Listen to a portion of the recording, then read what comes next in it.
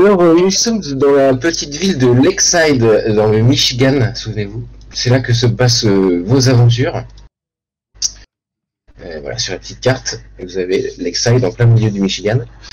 Et qu'est-ce qui s'est passé la dernière fois? Previously, dans Monster of the vous avez tout d'abord fait la rencontre d'un couple de loups-garous. Loups-garous, souvenez-vous, Miguel et Deborah, qui protégeaient leur petite fille, Exact. qui s'appelle Layla. Il y a aussi une petite fiche de personnage. Normalement. Voilà. Ouais, je suis pas sur le bon ordi, j'ai perdu toutes mes notes du coup. Parfait. Ça, c'est parfait. Euh, donc, euh, vous êtes à Lakeside et euh, vous enquêtez sur ces, sur ces loups-garous. Vous les laissez finalement euh, en vie et vous les cachez dans votre QG. Ton QG, Virgile, ta bibliothèque. La bibli- bibliothèque municipale de Lakeside qui, dans laquelle personne ne vient, à part vous finalement. Principe de la bibliothèque municipale. Les bonnes choses se perdent. C'est ça. Euh, peu après, euh, il y a eu un, un meurtre dans la petite ville de Lakeside. La, victime s'appelle Mitch Hutchinson, s'appelait Mitch Hutchinson. Et euh, en enquêtant, vous avez découvert qu'il euh, qu'il s'est fait attaquer par des créatures que vous avez eu l'occasion d'affronter euh, dans le campus de la fraternité. Sur le campus, à la fraternité de, ce Mitch. Il y a eu grosse baston, hein, vous en avez sorti vivant, il me semble. Vous avez tué des créatures? Euh, moi, j'en avais bien défoncé une bien, une bien comme il faut. Ouais, je crois. Moi. Moi, je suis à peu près sûr que j'ai tué personne. Et je sais plus s'il y en a eu une deuxième, je me souviens plus. Moi, je crois que j'en avais flingué une. C'est c'est Azarel aussi. euh. Azarel, on avait les... à mon avis, on en a buté deux ou trois. Ouais, c'était deux ou trois, Très je sais bien. plus exactement. Des créatures? C'est des créatures euh, que je peux aussi vous afficher parce que vous les avez rencontrées finalement. Ouais. Euh, qui ressemblaient à ça, des sortes de créatures euh, reptiliennes avec un voile euh, qui les recouvre, recouvre l'entièreté de leur corps. Et elles portent une petite cloche en permanence. Petite cloche au pouvoir évidemment magique. Elle résonne, ça se passe pas bien. Exactement. Euh, c'est là que Virgile, tu as eu un, flash, tu as déjà vu cette créature dans l'un des livres qui se trouve dans ta bibliothèque? Et euh, vous avez donc repris la direction de la bibliothèque, et en arrivant à votre QG, vous êtes tombé nez à nez avec euh, des loups-garous, dont leur chef Darius. Qui est comme ça, qui fait un petit peu peur quand même. C'est un énorme loup-garou euh, au poil blanc et euh, avec une cicatrice sur l'œil. Il semble euh, âgé. Euh, et il vous a dit J'ai besoin de votre aide. On s'était arrêté là-dessus, souvenez-vous. Exact. Il- Exactement. Exact. Exact. Et euh, juste question, il est en mode loup-garou là? Il est en mode loup-garou, carrément. Parce que donc, on, oui, on commence euh, directement euh, là où on s'est arrêté. Il est face à vous. Il vous demande si c'est vous les chasseurs. Et euh, il dit qu'il a besoin de votre aide. Qu'est-ce que vous faites? Alors, Alors moi, je précise que- j'ai sor- j'ai j'ai sorti mon fusil à pompe direct. Bah, je précise que je suis revenu, mais à poil. Parce que je m'étais, je m'étais transformé, euh, enfin, je m'étais enfui et, euh, et du coup, je m'étais transformé en humain. bah, redevenu en humain, ouais, c'est ça. toutes mes, toutes oui. mes fringues étaient. Donc, euh, en fait, je suis rentré dans la bibliothèque à poil avec, euh, je sais pas, genre un bouquin pour protéger devant et derrière, euh, ou, euh, ou un pneu, ou je ne sais quoi, un truc qui traînait, une feuille de papier. Ok. Il a quatre. Alors, euh, pour précision, euh, ils sont, euh, je vais vous redécrire un petit peu la scène. Il y a face à vous donc Darius et derrière lui, il y a six autres loups-garous transformés qui sont autour du couple, du couple Miguel, Deborah et leur fille, euh, qui se trouvaient dans votre, dans votre QG, derrière les cages. Vous voyez que la cage a été ouverte et les loups-garous sont tous au milieu du, de la pièce. Il me rend que c'est, euh, c'est comme euh, vous pouvez le voir un premier coup d'œil qu'il pas eu d'affrontement. Ok. Bah, euh, alors, euh, donc l'autre arrive, à poil. l'autre arrive à poil. Euh, Oui. Personnellement, j'arrive avec un flegme euh, légendaire, un peu blasé, et je suis là genre.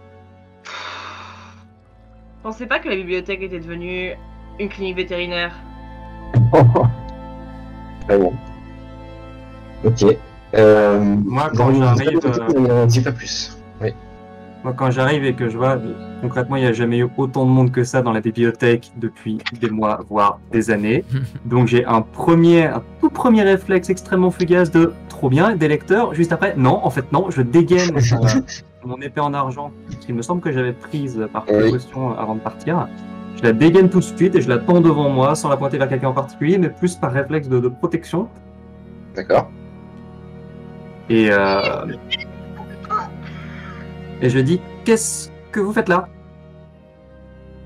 Moi, je suis avec mon flingue, je fais Ouais, comme il dit là. Au début, j'ai j'ai visé Darius, et puis là, je vois les autres coups, je fais Putain. Euh, moi, je reste, ouais. je reste un peu, euh, un peu quoi. Euh, je dis rien Ouais. et euh, en fait, je regarde. Darius avec des grands yeux, un peu, un peu subjugué par, euh, par toute cette Ok. prestance en fait. Eh Bien, on va, on va partir sur un flashback, John. Ok. Tu es, c'est, tu es dans la rue euh, de nuit, dans la rue de, dans une rue de Lakeside, et c'est le jour où tu es devenu loup-garou. Est-ce que tu peux nous raconter comment ça s'est passé? C'était il y a combien de temps? Ah bah c'était c'était il y a pas si longtemps que ça, euh, ah, peut-être un mois ou deux mois euh, tout au plus. Je rentrais du euh, je rentrais du cinéma. J'étais parti voir un, un teen movie, euh, petit film euh, d'horreur euh, un peu cheap, un film Z. D'accord. Et euh, et en fait et en fait en, en sortant du cinéma, bah, j'ai croisé euh, Jessie dont je suis euh, secrètement amoureux. euh, Ouais. qui ne me regardait absolument pas et du coup j'étais un peu perturbé et, euh, et je suis parti dans un dans une dans une mauvaise direction tout en ruminant en disant oui mais alors peut-être qu'il faudrait que j'aille le voir et, euh, et, et je peux je peux peut-être euh, euh, essayer de, le, de, de, de lui proposer d'aller boire un, un- un verre comme ça je, je sais qu'il traîne à la bibliothèque en fait je fais pas du tout attention à moi il faut savoir que, que John sous sa forme humaine euh, il ressemble un peu à, à une version euh, euh, Rookmood de, euh, de Steve Urkel. Ceux qu'on. Donc c'est euh, donc c'est chemise à carreaux avec euh, la salopette euh, trop petite euh, qui remonte euh, vachement, des grosses lunettes énormes. Et, euh, et il est blanc comme un cul, hein, vraiment. Euh, et il a une espèce de petite touffe euh, bouclée rousse. Il est, il prend pas du tout soin de lui en fait. Et, et donc du coup, il est comme ça, il marche dans la rue, il marche, il marche, il marche. Et à côté de Lakeside, il y a une, il y a une petite forêt, pas très loin. Et, et en fait, il s'en Ouais. rend compte, il sort de la ville, tout en ruminant, en essayant de, de penser à comment, comment faire. Et il voit, bah, il, il entend des fourrés, enfin il entend du bruit dans les fourrés, pardon. Et du coup, il se, il se stoppe net et là, il entend un. Et euh, sans qu'il comprenne exactement ce qui, se passait, il se réveille le lendemain matin, euh, euh, totalement nu, dans la forêt, euh, couvert de blessures. Enfin, les vêtements pas nus, mais les vêtements déchiquetés, couverts de, de blessures. Il ne se souvient pas de comment il, il est- il s'est retrouvé comme ça. Il, il a, il a juste le souvenir qu'une forme se jette sur lui. Et il se réveille, euh, il se réveille le lendemain, il est tout courbaturé, il a mal partout et euh, il a une trace de morsure, euh, le dos lacéré et une trace de Eh morsure. bien, en voyant ce Darius dans la bibliothèque, tu, tu as un flash et tu te souviens de cette forme que tu as vue. C'est un loup blanc. Et tu le reconnais, c'est un loup blanc, exactement, avec la même cicatrice sur l'œil. Et, et du coup, en, en voyant ça, je, du coup, je suis tétanisé face à, ce- à cet homme-là. Avant, j'étais, j'étais vraiment subjugué. Et en fait, quand, quand tous les souvenirs remontent, je, me- je suis totalement paralysé. Et, euh, et en étant paralysé, la feuille de vigne qui me recouvrait les parties euh, tombe.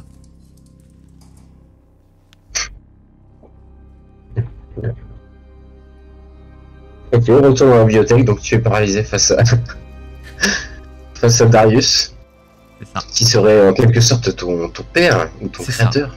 exactement. Euh, il est euh, très calme. Il s'approche de vous, toujours transformé. Pas du tout l'air menaçant. Et il vous demande. euh, il vous répète, s'il vous plaît, j'ai besoin de votre aide. Êtes-vous prêt à aider des loups-garous? Il se tourne vers toi, John, et dit John, es-tu prêt à aider les tiens?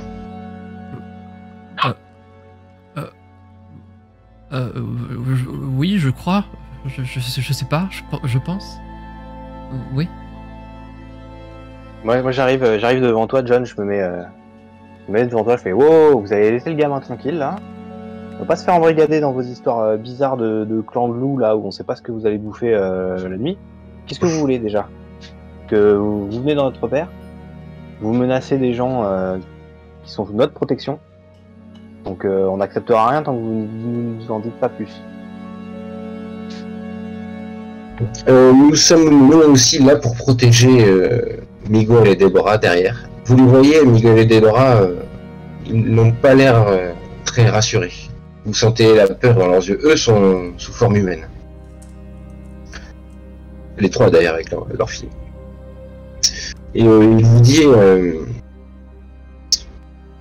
je voudrais, je voudrais que les loups, notre meute, euh, s'associent avec vous pour lutter contre les créatures qui attaquent euh, Lexide en ce ces jours-ci. Elles sont très dangereuses, elles sont là pour récupérer euh, la petite. Depuis le début, vous protégez ce couple et cet enfant. Donc, vous les avez protégés, vous vous êtes montré fidèle à la meute. John, je suis content que tu sois devenu un loup-garou. J'ai Bah, disons que si j'avais pu avoir le choix, et puis avoir le choix, j'aurais peut-être préféré euh, partir sur une autre option de, de- de carrière, mais mais en tout cas, euh, ouais, je, je- ouais, je, pense que suis prêt à vous aider. Je, je sais pas pourquoi. Et en fait, je je, je je me sens petit à petit, en fait, je me sens appartenir à quelque chose de, de plus gros, de plus grand. Très bien. Petite, pe- pe- Attendez, parce que effectivement, on a protégé ces loups-garous, mais on Oui. pensait qu'on les protégeait de vous. Ils avaient peur de vous, ils voulaient pas que vous récupériez la petite. J'aimerais comprendre juste ce qui se passe. Euh, vous pouvez leur parler, là. euh, Ils s'écartent, ils vous laissent euh, la vision sur des Miguel et Deborah. Et Miguel vous dit euh, d'une voix un peu faible Non, non, euh, c'était un malentendu. Euh, on s'était mal compris avec, Darius. Euh, voilà, on s'est arrangé, ils sont là pour nous protéger. Il dit ça tout en baissant la tête. Ok. Quand je vois, quand je vois ça, j'aimerais essayer de sentir dans sa voix, dans son attitude, si on l'a menacé pour lui faire dire ça. Je ne sais pas ce qui s'est passé avant qu'on arrive. Est-ce que ça pourrait être comparé à une situation qui craint? Oui, Très bien. Je vais, une essayer, situation qui craint, tout à je fait. vais essayer de l'évaluer. Ça sent Euh. euh, effectivement une situation qui craint. Donc un jet de bouteille. Euh, hop. 6 Ça commence par un échec. Formidable. Formidable. Pas loin, pas loin. Formidable. Yes. Euh, tu peux aussi, euh, oui, dans ce jeu, il y a la chance. Tu peux aussi dépenser des points de chance, mais qui ne remontent jamais, hein, attention. Euh, Pour euh, considérer que tu as réussi et ne pas cocher de case expérience. Tu aurais fait un 12 plus. Est-ce que tu veux utiliser un point de chance dans cette situation ou pas du tout? Parce qu'en cas d'échec, euh, tu mets juge de la situation et tu peux dévoiler des détails tactiques à tes ennemis. En gros, tu évalues très mal la situation. Non, je pense que je vais péter un point de chance là-dessus. hein. ça me semble être important pour la suite des événements. Ça va être euh, une décision stratégique importante qu'on va prendre là. Donc, euh, j'ai claqué un point de chance. Tout à fait. J'en ai quatre de cochés maintenant. Euh, ah, t'as déjà 4 points de chance cochés? Ah ouais? On avait démarré à deux cochers, je crois, de mémoire. Ah oui, exact. Exact, c'est vrai. Ok, donc tu as me poser deux, deux questions, même trois questions, il me semble. Ah, si c'est une grosse réussite, ouais. Euh, euh, C'est ça. Très bien. Euh, J'aimerais savoir euh, dans un premier temps si, euh, euh, si Miguel dit la vérité ou si Darius dit la vérité, puisqu'ils disent la même chose. Euh, tu sens qu'il euh, tu sens qu'il euh, il pense sous la contrainte. Miguel? Oui. Ok.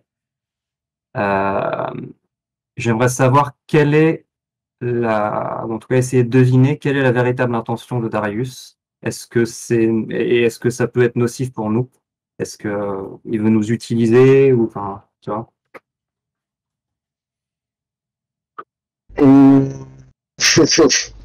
En fait, c'est- ça ne correspond pas tellement à une des questions euh, d'évaluer une situation qui Ah, craint. pardon, Bien, je savais pas qu'il y avait des questions. euh. Il y a une liste, ouais, il y a une liste de questions. Après, Ah, tu peux, on peut toujours sortir de la liste. Moi, je t'ai répondu à une question de- dans ce sens-là, mais cette question-là, faut demande un peu Ouais. plus de, de temps et d'autres indices. Euh, C'est vraiment cette info que vous rencontrez Darius. Enfin, sauf pour John. C'est vrai, c'est vrai. Euh, dans ce cas, euh, est-ce, je, je vais demander, est-ce qu'il y a des dangers qu'on n'a pas remarqués? Donc, par rapport à ce que pour l'instant Darius est juste en train de nous dire, on a besoin de votre aide. Est-ce Mhm. qu'il y a un truc susceptible de nous foutre dans la merde que je ne verrai pas dans l'immédiat? Euh, tu as l'impression que les loups-garous, les six autres loups-garous qui sont avec Darius, ont un bracelet euh, électronique à la cheville. Ok. Et tu te dis donc qu'il y a quelque chose, euh, ou quelqu'un peut-être qui les surveille. Enfin, quelque chose en plus. Darius, il en a un aussi ou pas? Darius euh, n'en a pas. Euh, Très bien. Ça t'aide pas beaucoup. Ça ne m'aide pas énormément, mais c'est une information. Euh, les autres questions ne me semblent pas ultra pertinentes dans le contexte. Euh, Tu, tu peux garder une question hein, pour plus tard. je, peux regarder une- ouais, je vais faire ça. Je vais regarder une pour plus tard. Je vais attendre de voir ce qui se passe.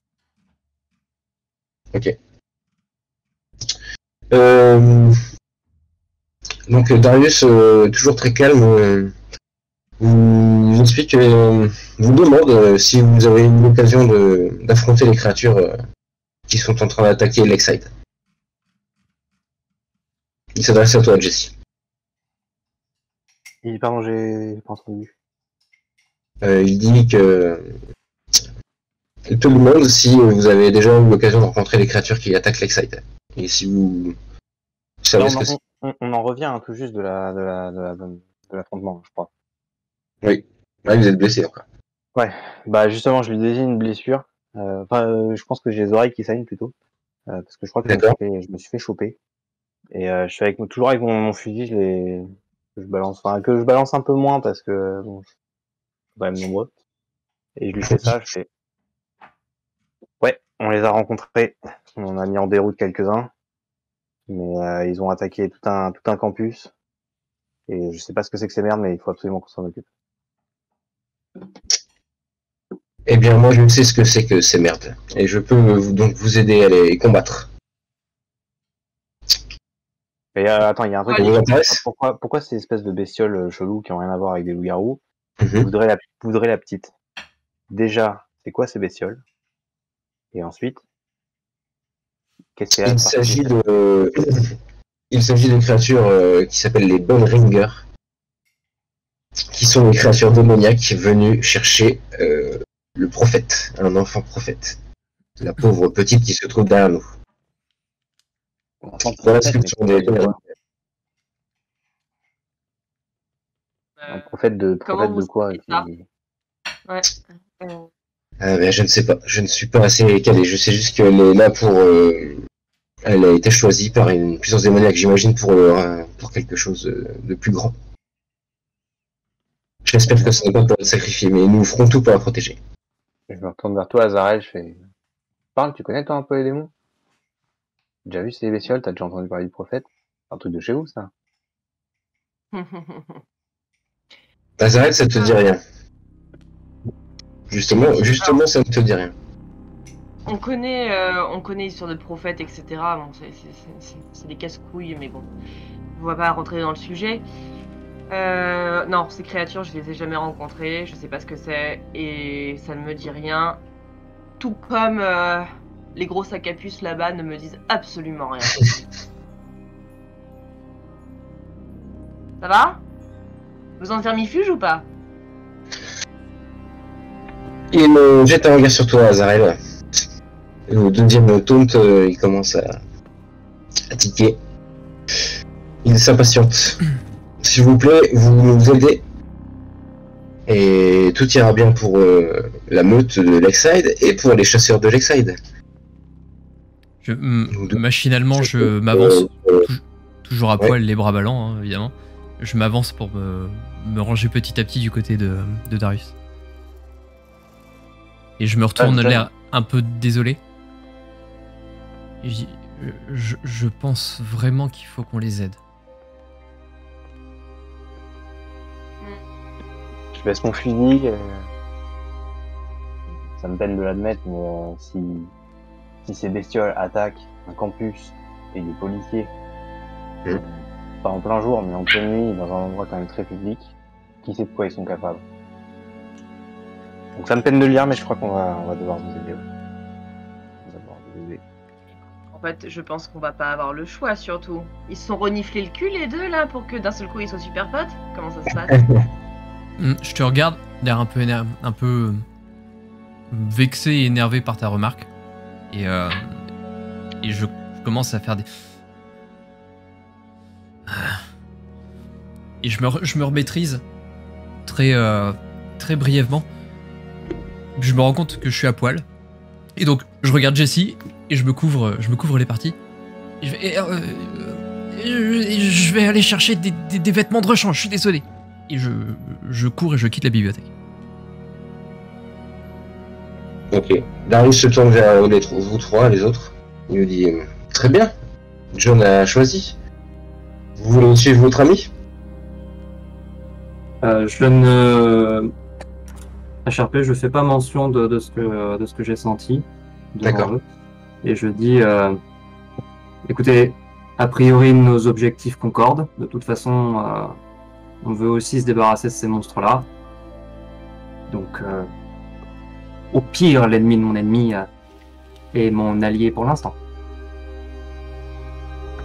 Bonne réponse, Virgile. Il sort de. Il une sorte de petite besace euh, à la taille. Il sort un, parchemin et il te dit Virgile, voici un rituel pour affaiblir les Bellringers. C'est dans un rouleau parchemin. Il te dit il faut réunir euh, trois objets. euh, J'ai pas bien compris, c'est pas mon truc, les, les prophéties, pour tout te dire. Euh, il ce morceau de papier, ça nous aidera à lutter contre les Bellringers. Oh, ils nous envoient faire la sale besogne. C'est ce que tu le dis au doigt? Oui. Ok. Oui. Il avez euh, se besoin retourne sur toi, le, le regard un peu plus agressif. Ok. Et je, Il euh, euh, pour faire preuve de ma bonne foi, l'un de mes hommes va vous accompagner et restera avec vous en guise de, de bonne entente. Et je suppose que John euh, restera avec moi, par exemple. En échange d'enfants. Pardon, c'est hors de question. Pourquoi pas? C'est pour vous montrer que les humains et les loups, nous sommes alliés dans l'adversité. C'est hors de Ah, question qu'on laisse John avec vous. Vous proposez de prendre un otage, quoi. Appelez ça comme ça, directement. Il sourit. Il, je pense que vous choisi les bonnes personnes pour cette mission. John, euh, il faut. lève la main et il y a un des loups qui s'avance, euh, qui se retransforme euh, en à moitié en humain, qui s'appelle Taylor.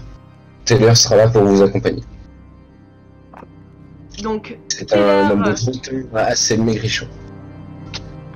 donc Taylor sera là, mais John ne sera pas là. C'est donc ça que vous êtes en train de négocier là? Le choix, le choix de John euh, dépend que de lui. C'est à lui de choisir. Je ne m'y opposerai pas, vous voyez Je suis très conciliant.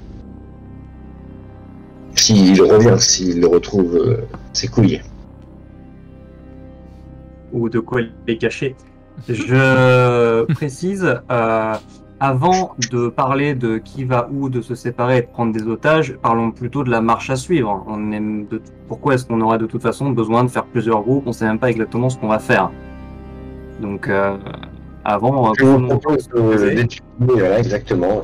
Prenez le temps qu'il vous faut, étudier euh, le parchemin, la façon dont vous allez procéder. Et pendant ce temps-là, moi et, et ma meute, on va essayer de lutter contre les belles ringers en ville.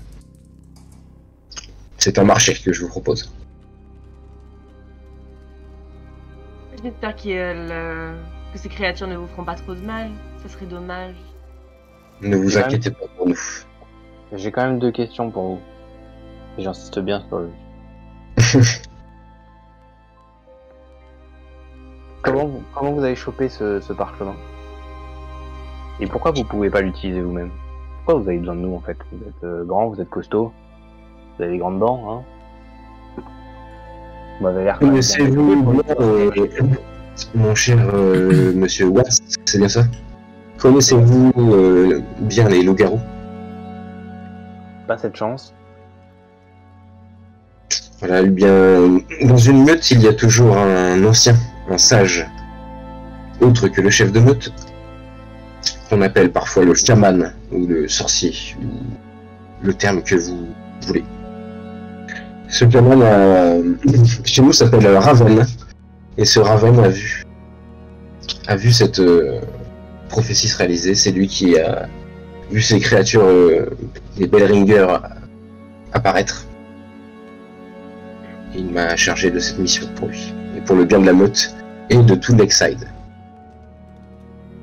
Ok. Malgré les apparences, nous ne voulons pas faire disparaître la race humaine. Nous vivons très bien à Lakeside au milieu de, de vous, noyés dans la masse.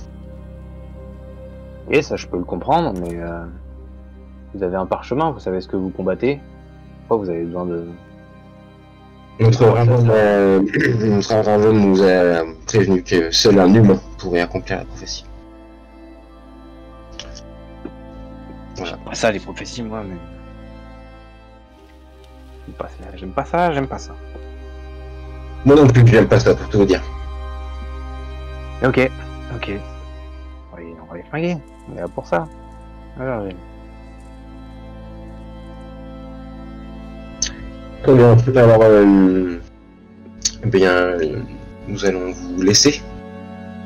Taylor restera avec vous, je suppose que vous avez de quoi l'accueillir. On va trouver. On va trouver. Oui, que Taylor il a un bracelet autour de la cheville aussi, Mhm. et qu'il n'est pas, euh, il a pas l'air super content de, de rester avec vous. Évidemment. Euh, Darius euh, grogne, et tous les loups euh, se rapatrient autour de lui, se rassemblent autour de lui et, et quittent la bibliothèque. Je m'écarte pour les laisser passer, euh, en rengainant mon épée avec une petite courbette, en les surveillant quand même du regard. Est-ce que euh, Miguel et Déborah partent aussi ou est-ce qu'ils restent? Ils partent aussi. avec la Ils petite? suivent avec la petite, ouais. Sans un regard vers euh, le- aucun d'entre vous. Vous pouvez essayer de les interpeller avant qu'ils sortent. Si dans 5 secondes vous ne les avez pas interpellés, ils sont partis. 5, 4, Attends, de, quoi, de quoi, de quoi, de quoi, de quoi, de quoi, de quoi, de quoi, de quoi, de quoi, de quoi, de quoi Tu peux interpeller Miguel, et Déborah. 0,5. Non, moi je m'en fous des loups-garous. Ok, ils sont là. j'ai dit Miguel, j'ai... Bon, ok, j'ai plein de trucs en tête là.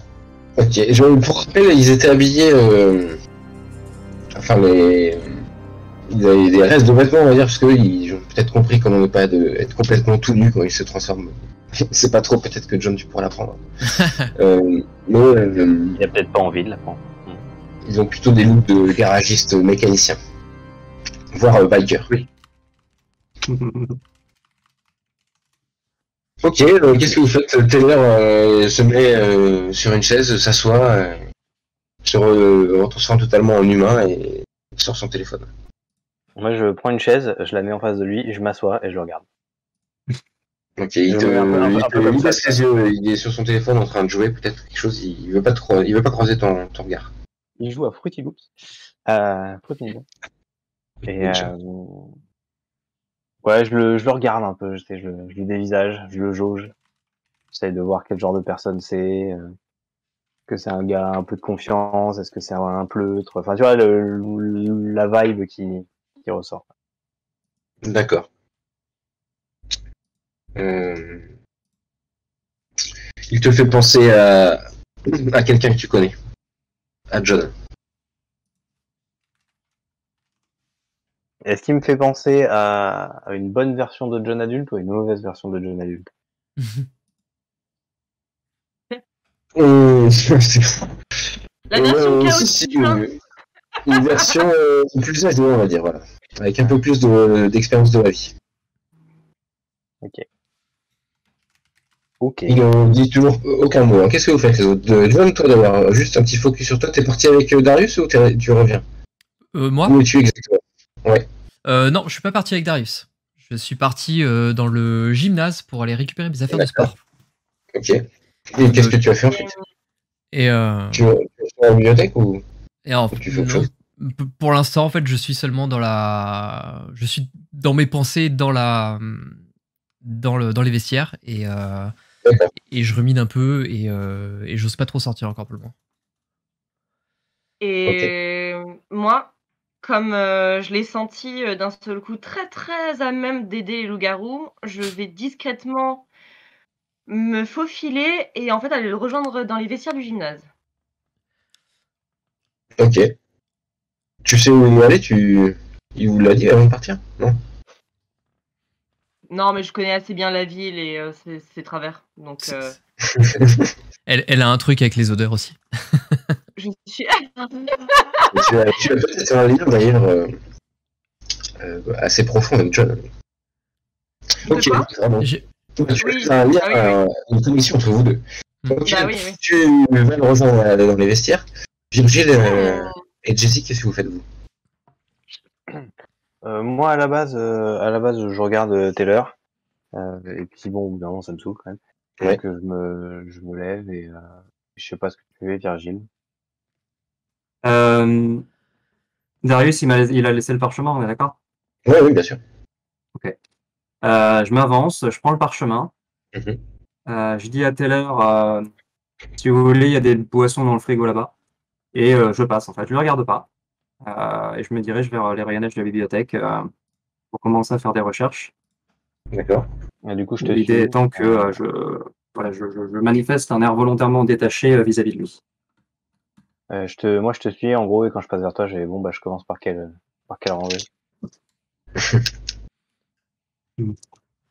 Vous cherchez, Euh, vous, enquêtez sur un mystère, donc. Ouais. Avant de commencer, je vais juste attendre qu'on soit suffisamment loin de Taylor euh, pour, euh, pour murmurer à, à Jessie. Euh, bon, j'aime pas trop ce qui se passe.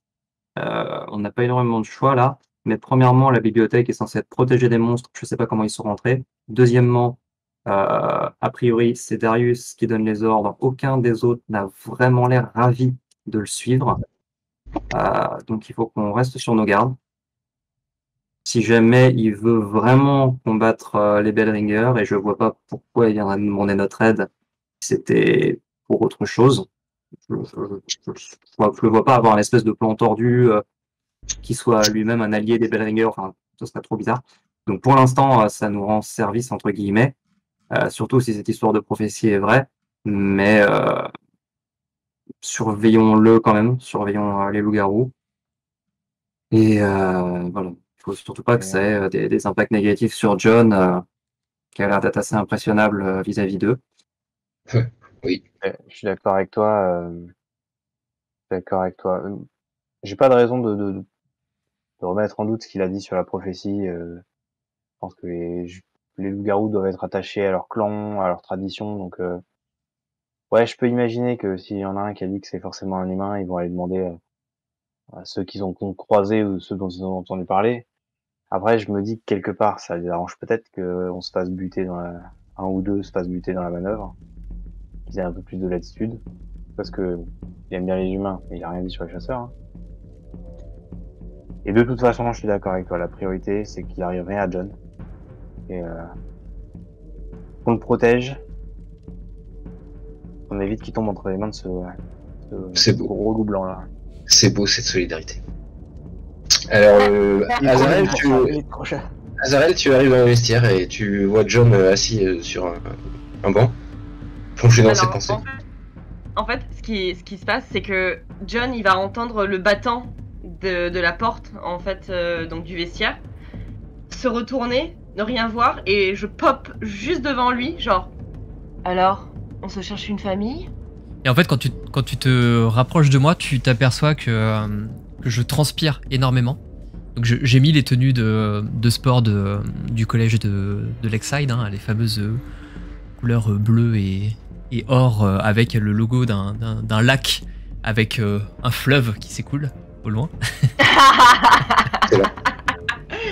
Et, euh, et en fait, tu, me vois et je suis pas du tout surpris de te voir en fait. Euh, et je transpire à grosses gouttes et, je te regarde droit dans les yeux. Et je... Toi, c'est toi, c'est toi la responsable. Je me souviens maintenant. Et en fait, j'ai les mains qui se, qui sont agrippées au banc et, tu vois le banc en bois qui commence à craquer sous, le, sous le- le- la pression. Et je te regarde comme ça, et j'essaie de contenir un maximum ma rage. Pourquoi? Azarel, Pourquoi Qu'as-tu Azarel, fait? quand tu vois euh, John dans cet état, tu as un flashback, toi aussi. Tu es. Rappelons que tu es en, en exil. Ton personnage est en exil. Tout à fait. Parce que je suis un super mauvais ange. C'est ça. En exil de, de quoi exactement? Tu- Qu'est-ce que tu as dû quitter?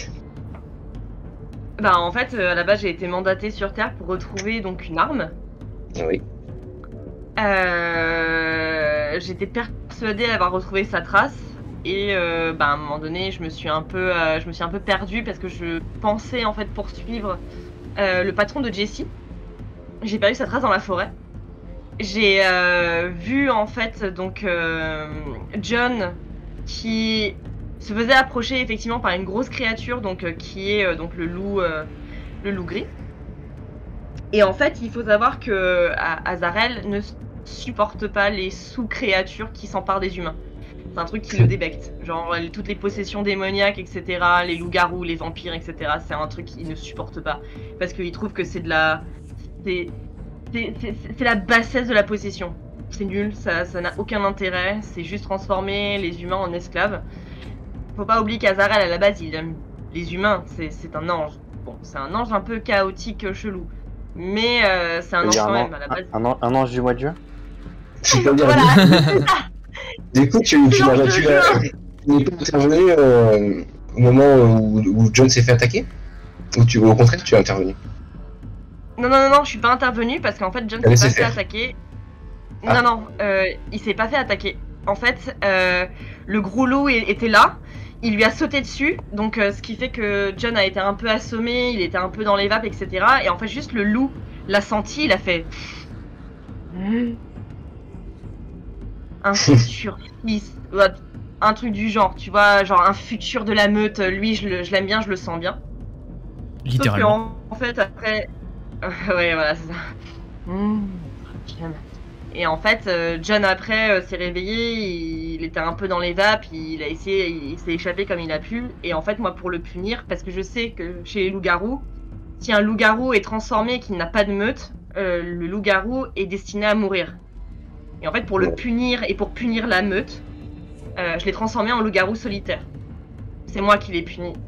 Pour pas que la meute ait un nouveau loup-garou. Et... Excellent. Très bon. John, il n'est pas une sorte de loup-garou euh, original, quoi. Exactement. Il est unique. C'est un- loup-garou unique, né euh, de, de pouvoirs di- Né- divins. De tes né d'un ange. Voilà, c'est exactement ça. Sauf que, sauf que Un en ange fait, garou. bah, vu, c'est ça. Sauf que comme en fait, bah, les autres là-haut ont vu, ils m'ont, ils m'ont banni parce qu'ils ont fait. Mais là, en fait, tu t'es laissé emporter par tes sentiments. À force de traîner sur Terre, t'es, devenu trop humain. T'as manqué de recul. T'as laissé parler ton ego et ton mental. T'es puni. Donc euh, maintenant, tu vas errer sur la Terre avec beaucoup moins de pouvoir angélique. Et surtout, en fait, si on t'attrape, on te tue. Parce que tu. Parce que. Alors. Non, plutôt. Ils m'ont, ils m'ont banni et moi je me suis enfui juste avant qu'ils m'exécutent. Et en fait, je suis en fuite. Je suis en fuite parce que euh, si jamais ils me retrouvent, en fait, euh, je me fais exécuter, mais comme une, comme une sous-merde. Je deviens, je pense, un- je, je pense que je deviens un déchet. euh, Ok, c'est bien. Tu me donnes plein de munitions, là, c'est parfait. C'est super. Euh, non, mais incroyable, donc John n'est pas un loup-garou euh, original. Pas mal.